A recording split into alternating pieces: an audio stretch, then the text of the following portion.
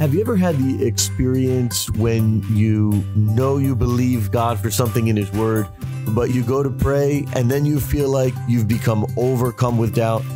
Well, we've all been there, and we're going to talk about the solution today, which is all about learning how to activate your faith for healing. Welcome to the Be Healed podcast. I'm Steve Hannett, your host, and I want to welcome you today if this is your first time joining our listening family. The Be Healed podcast is all about teaching God's promises to heal us mentally, physically, and spiritually. I encourage you to share the podcast, follow the podcast, email it to a friend because the podcast may very well be the thing that's going to bring the change that that person or friend has been praying for. Hey, be sure to listen all the way through to the end because I'm going to be offering a new free gift and get ready to learn about how to activate your faith that I know is going to bless your life. If you've been listening for a while to the Be Healed podcast, you know that we've often been teaching about our need to believe God's word in order to receive healing. Faith is a critical and key component to actually receiving anything from God.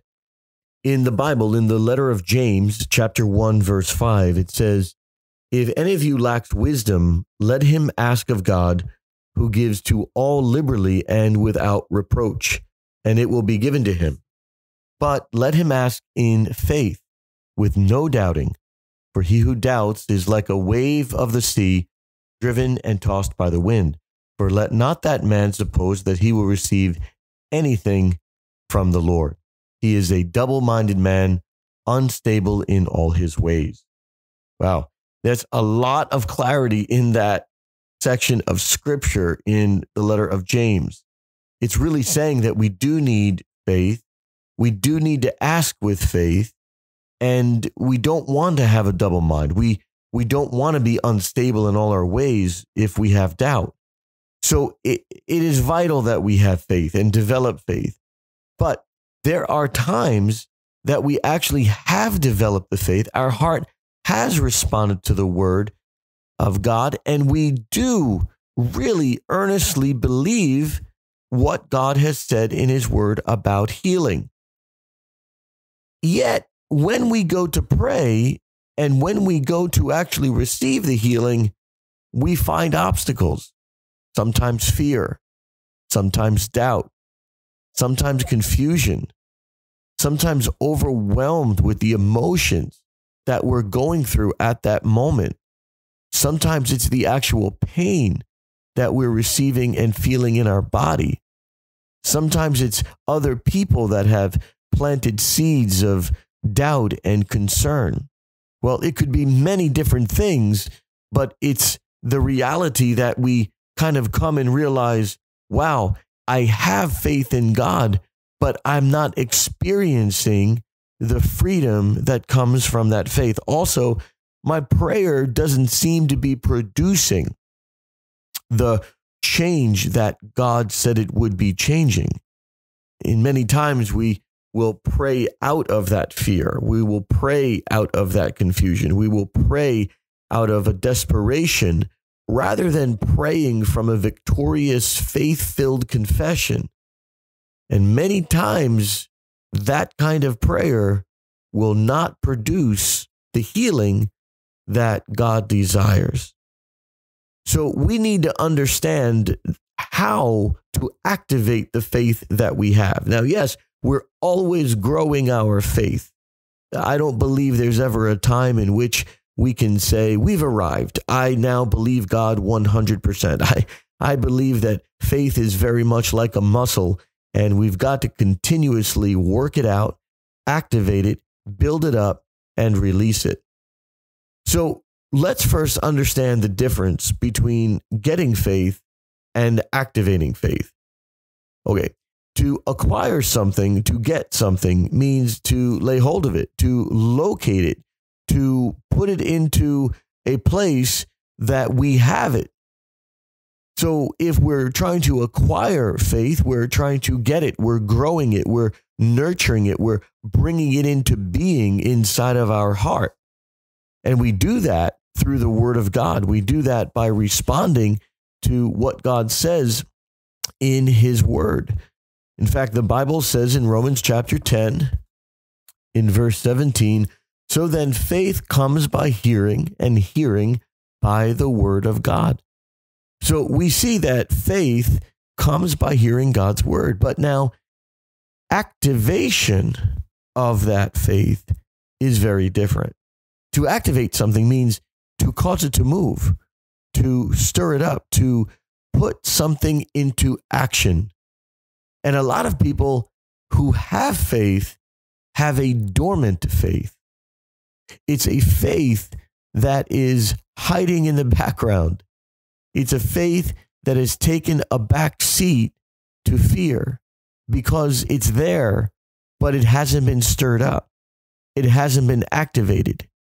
And I want to share with you that very practically, I'm desiring to be a bit of a coach in your life right now because you may wake up one morning and you may have a certain set of circumstances going on in your life that you feel like you can move any mountain that comes before you. Later that very same day, through other circumstances, you may feel like the biggest failure who can't even move a pebble. And the reality is that our emotional life and our mental life, you know, our thought life and our experiences that we're having in the day, they influence us. Now, it doesn't mean that in the morning you were this great believer and in the afternoon you were this terrible doubter. It just means that you've come under the influence of things and it's tried to put your faith into a box, locked up and not able to be used. So, activating faith is about taking the faith that you have and saying it will not be dormant but we will fan the flame into a strong fire. I want you to think about that. I want you to think about a few logs and the fire is beginning to die down and it's getting colder and you need to have a bigger flame. Well, it isn't that there isn't a fire. It's just that we need to blow on it. We need to fan it. We need to move those logs around and stir them up. And as you do that, the existing fire that's there all of a sudden becomes much larger and begins producing heat, or it's able to now cook the food. I want you to understand that faith is very much the same thing. It's there, but it has to be stirred up. We have to have the Holy Spirit blow on it. We have to be able to kindle it into a strong blaze. And this is all the kinds of things that we need to understand before we pray for healing. Many, many times I will stir up my faith. I will build up my faith. I will let God stir it up. I will get my faith to a point where it is a living, pulsating, growing force in my life that is overcoming fears and doubts, even in that moment, in very much the same way that an athlete takes very good care of warming their body up, stretching their muscles, and preparing it for the exercise or physical activity. In the same way, a prayer warrior would do that in the spiritual realm with their faith. They're preparing for prayer. They're preparing for a spiritual battle. They're preparing to apprehend and occupy. They're preparing to go in and lay hold of what God has done on the cross. And so, this is an exciting thing that we can do that moves us from being in potential power, having faith there dormant, into kinetic or active power, ready to move and ready to go. Now, in truth, we should always have an active faith. Our faith should always be activated and moving and thriving. But as I said, reality sometimes hits us hard and gets us into a state that we're not really thinking about the Word of God. We're not really thinking about the bigness of God. we're not thinking about the covenant of God, the blood of Jesus Christ that was shed, the work of the cross, the finished work of the cross. No, we're lamenting about the doctor's diagnosis, thinking about the pain, thinking about all the things that could go wrong. And I tell you that depending which frame of mind and heart you're in, it's going to have a tremendous impact on your prayer and the fruitfulness of your prayer. So let's get into it. Let's begin to learn some practical ways. And I'm going to give you a few practical things that you can do uh, that will begin to stir up your faith, uh, that will begin to fan your faith fire into a beautiful blaze that the devil cannot overcome, no sickness can overcome, no disease can overcome, no difficulty can overcome, and you'll be victorious. Now, before I get into the list, I want to tell you this is not a full encompassing list. This is a few things that I feel are the most practical and the easy ones to begin with. And uh, they are things that you could begin implementing today. And so the first thing I'm going to share with you is the Word of God. Yes, it makes perfect sense that we should not just grow our faith from the Word of God, but we should stir up or fan our faith into a blaze from the source of our faith, which is God's word. In Psalm 119, verse 15, it says, I will meditate on your precepts and contemplate your ways. I will delight myself in your statutes. I will not forget your word.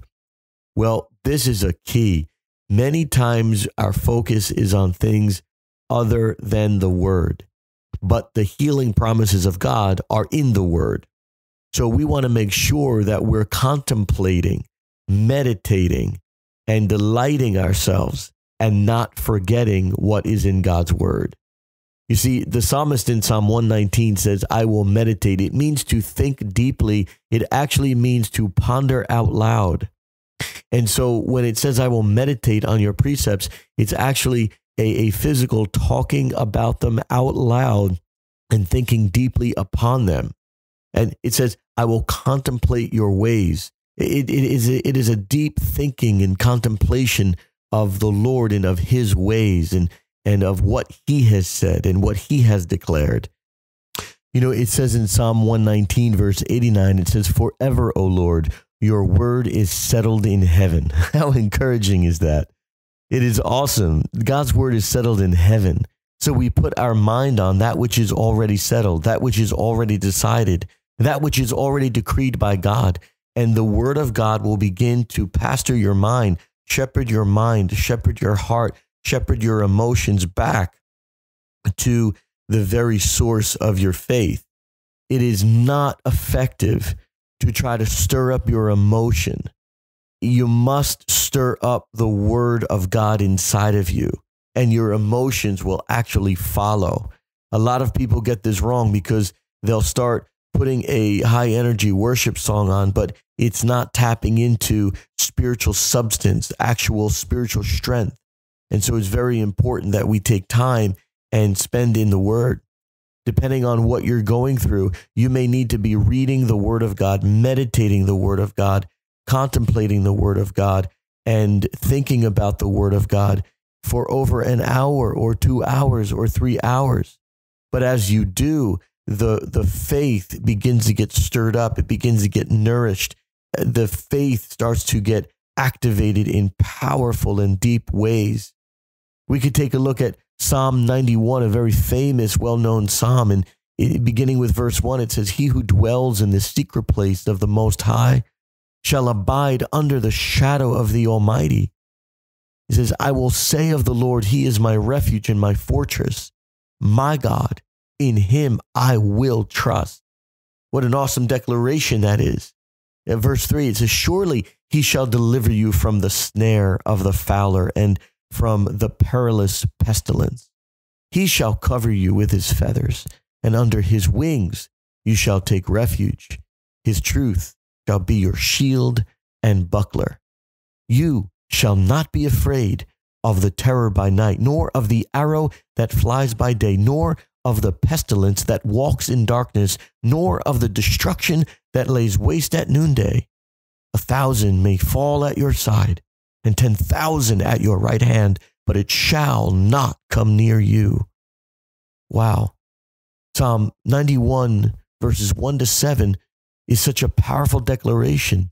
And as people are suffering from COVID uh, 19 and uh, suffering from fear of the pandemic, and now with the new Delta variant out and listening to the news, it just puts more and more fear.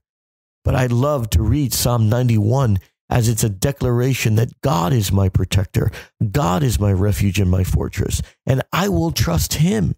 I will put my trust in him. So the Psalms are a amazing source or resource for us to be able to tap into to activate our faith, to reignite it and to nourish it in the time of need.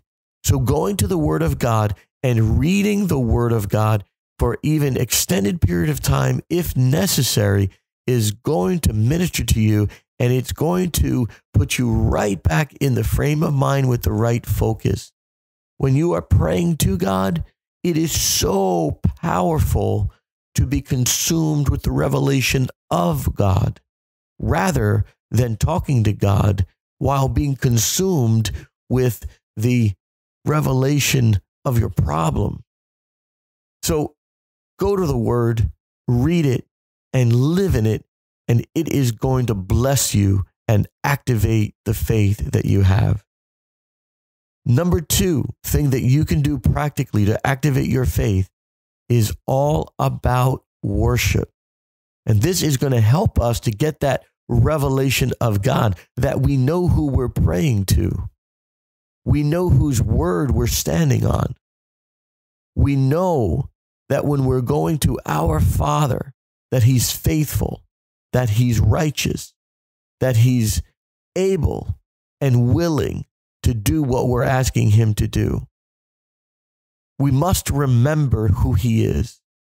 In the book of Nehemiah, in chapter 1, verse 5, Nehemiah said, I pray, Lord God of heaven, O great and awesome God, you who keep your covenant and mercy with those who love you and observe your commandments. Wow, that's awesome. Nehemiah chapter 1, verse 5, Nehemiah is making a declaration. Now, Nehemiah was about to do an amazing defeat of rebuilding the walls in Jerusalem, and they did it in 52 days. It was miracle level work. And he says, I pray. And he says, Lord God of heaven, declaration of who he is. Oh, great and awesome God, declaration of his nature and character who keep your covenant and mercy with those who love you and observe your commandments. This is a declaration of the covenantal God and of his ways, and also that he's a God who responds to those who observe his commandments. So Nehemiah is restating what the word of God says. In fact, we can actually go to the book of Nehemiah in chapter 1, in verse 5, and we can see that Nehemiah is uh, referencing uh, the revelation that's in Exodus 20, in Exodus 34, in Psalm 89. So here we have Nehemiah who's literally praying and applying these keys of stirring up faith because he's making declaration of God's word.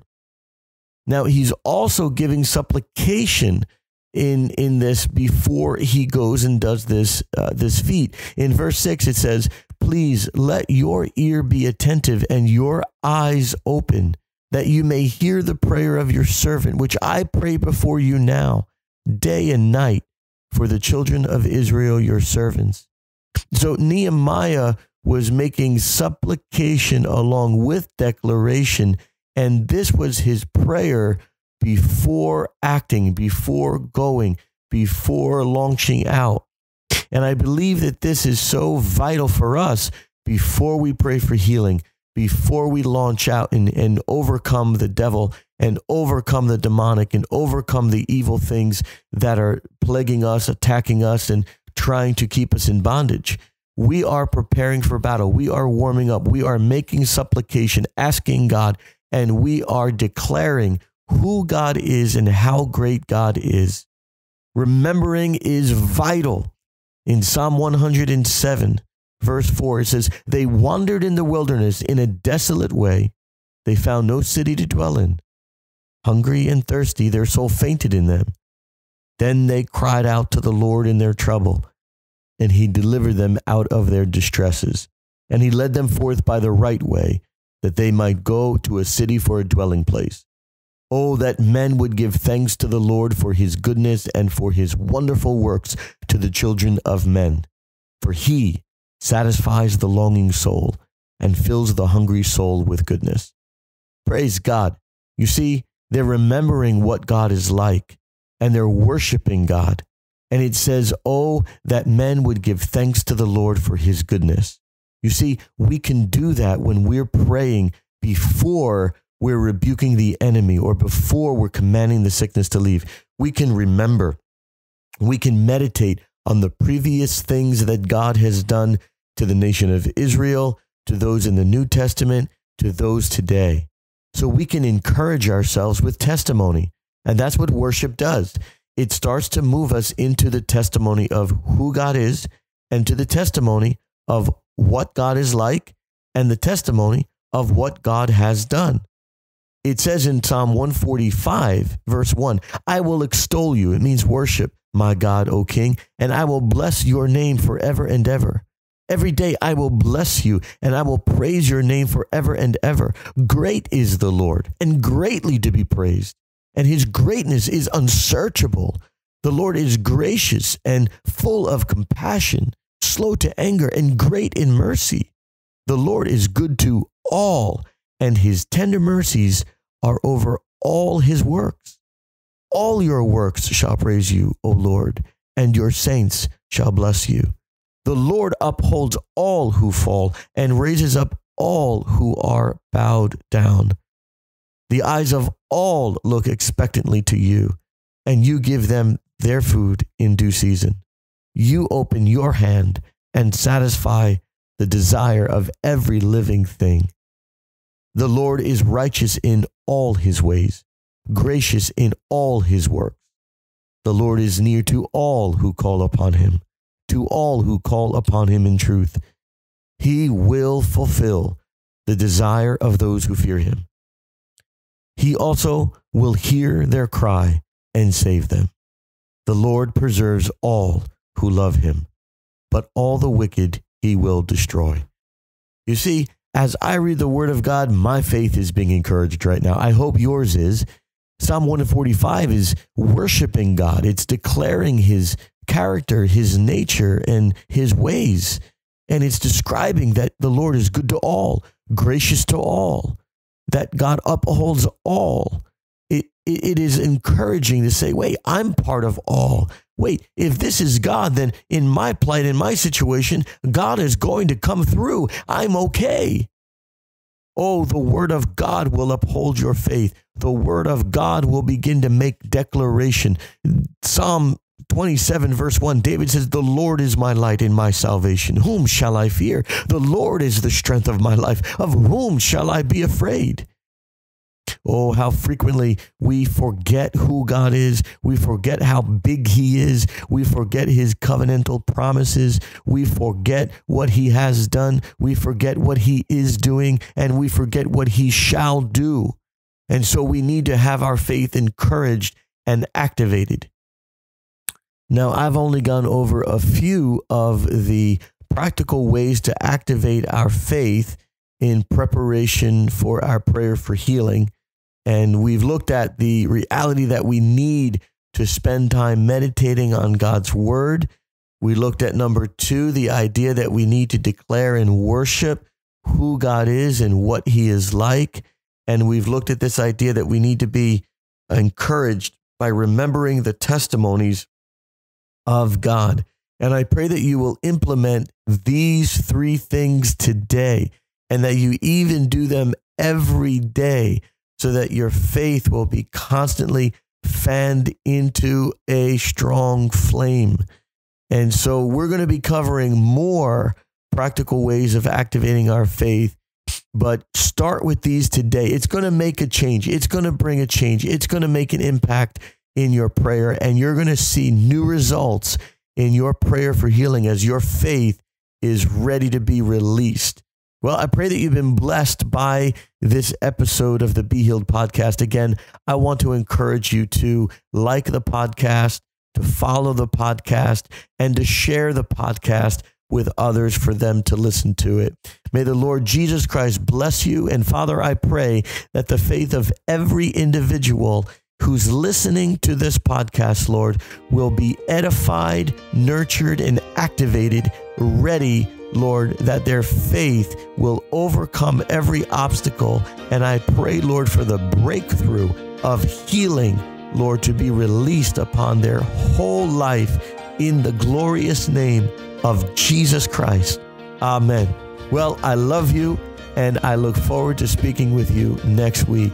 Oh, make sure I promised about that free gift. It's all about meditating on scriptures of your identity. You can get that free gift by texting the word healing to the number 97,000. Just type in healing to 97000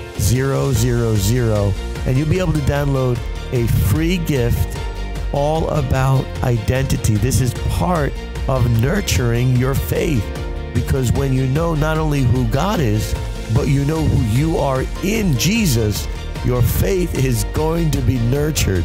Well, we love you. God bless you. And may the Lord Jesus Christ lead you into the fullness of all his blessings. Amen. Thank you for listening to the Be podcast today. I'd love to connect with you on Facebook at facebook.com forward slash Steve Hannett, and you can get a lot of our latest information and announcements there. Also, would love for you to know about our TV program called The Miraculous Life. It airs on Sid Roth's It's Supernatural Network, also known as ISN. You can go to their website, you can download the app ISN on your phone, and you can listen to it also on our YouTube channel. Just go to youtube.com forward slash Steve Hannett. There's amazing teachings and testimonies of God's power healing people and breaking through. Truly, He calls us to live in His grace and peace. Well, until next week, may Jesus Christ lead you, guide you, and establish you in the fullness of His grace and power. Be sure to share this podcast with someone who you know it will bless, and I'll look forward to talking with you next week. God bless you. Be Healed is a production of Every House, a church network whose mission is to contribute to the work of the Great Commission by reaching the lost, establishing churches, and cultivating leaders throughout the world. If you'd like to give a tax deductible gift to support this ministry, simply visit our website at stevehannett.com and click the donate button. We thank you in advance for your prayer and support.